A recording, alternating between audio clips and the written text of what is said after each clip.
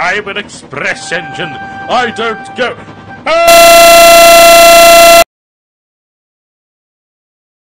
In a heart-wrenching incident that has sent shockwaves through the railway community, Gordon the Big Engine, one of the most beloved and iconic locomotives in history, tragically lost his life in a harrowing crash involving a goods train. The incident occurred on the mainline tracks just outside the picturesque town of Sodor yesterday evening.